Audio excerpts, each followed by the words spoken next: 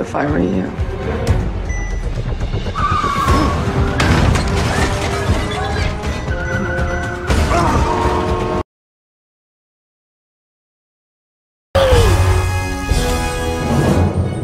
Buckle up, boys. Next stop, England.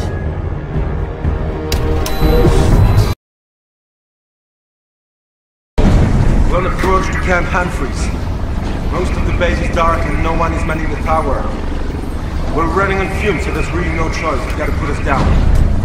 Buckle up.